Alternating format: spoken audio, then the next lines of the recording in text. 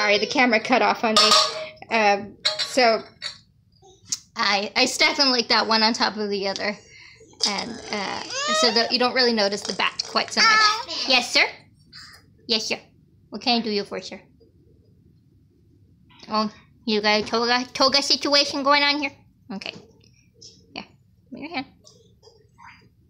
There you go. Fix the toga.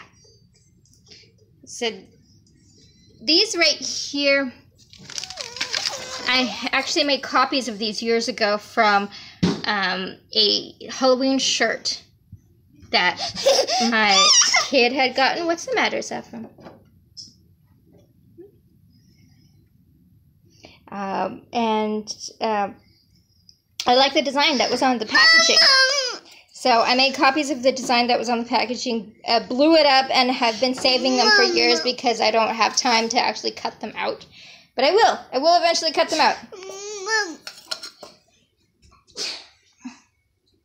In a little bit, babes, okay? I'm almost done. And here we got one of my pride and joys right here. He comes, he goes in the front yard, of course. I I don't remember. I don't remember where this one came, but I think it was from a place called Halloween Superstore. That's my only guess. Is that it came from a place called Halloween Superstore, and it had a had to have been more than ten years ago. And so he's been on our yard ever since. This little guy, uh, a neighbor gave to us this year, actually. Uh, this was my husband's mask. Um, I think it was two years ago. So he is going on a spike in the front yard. Uh, this one, I believe I made another video about this one. This one's one of the tombstones that I made this year. I'll try to make as many tombstones as I can. I don't know how many that will be. Um, but you know how it is when you have projects that you need to get finished. You kind of get bored of them. Spidey over here. This one was from Spirit Store last year. Spider-Man. Or was he from Target? I don't remember. They ha- they both have very similar spiders. It was either from Spirit or from Target. It's Spider-Man. This is the this is the other um, tombstone that I have finished. I was actually supposed to be doing a tutorial about that, but uh, the day that I uh, did most of the work, my family was over, and I'm really kind of uh, shy about recording. Zephram, don't do that. See, it's coming apart right here. I'll, I'll, uh, that's one of the things I have to repair. It's okay. Don't don't pull on it, Bibs. Don't pull on it, okay? Saffron. Don't pull on it. Um, but my family was over that day, and I'm very, very shy about recording when people are over. So that didn't get recorded. I'm sorry. Um, this is a little shovel uh, that I was given for my birthday, for my 30th birthday. Um, and I decided to paint a little pumpkin face on him. And he's now a decoration, and he's better to me as a decoration than as a tiny shovel that I have to bend over and hurt my back using all the time. Um, this one was the Munchkins' first Halloween costume. So he's over there. Again, he'll be on display until they're more faded than their use. Got a couple random black crows over here. And then uh, this one's new. This one is a chalkboard um, from the 99 cent store. My phone is getting mad at me because of how long this video is.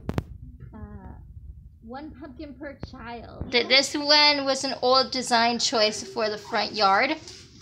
So uh, I'm not sure if I'm gonna put it up again this year because, well, you, you know how my pumpkins turned out this year, and I don't know if I'm gonna buy that many. So this one might stay put. It might not. I don't know. But I made that a couple years ago. I actually didn't realize how many things I still have that I had made. And then uh, these ones go on the bedroom doors. I'll probably end up getting another pack of those because uh, two of them didn't make it this year. And see, I think think that's it. So you can see basically fills up the entire kitchen. Um, a lot of it though is for indoor use. Uh, I'm gonna have to try to concentrate on outdoor Halloween products this year. I got a lot of orange. It's one of my favorite, but my theme this year is orange, green, and purple, as kind of like the pillows indicated over there.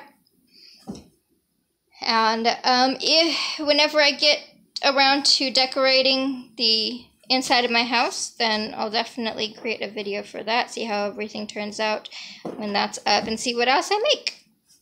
So, I hope that was at least mildly entertaining. I don't know. I I've never done one of these types of videos.